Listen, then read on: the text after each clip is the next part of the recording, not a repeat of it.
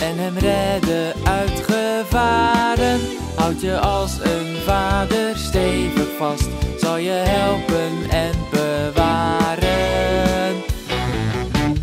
Als je door een diep en donker dan moet gaan, hou dan vol, hou dan vol. Als je soms voor hete vuren komt te staan, geef niet op en hou dan vol.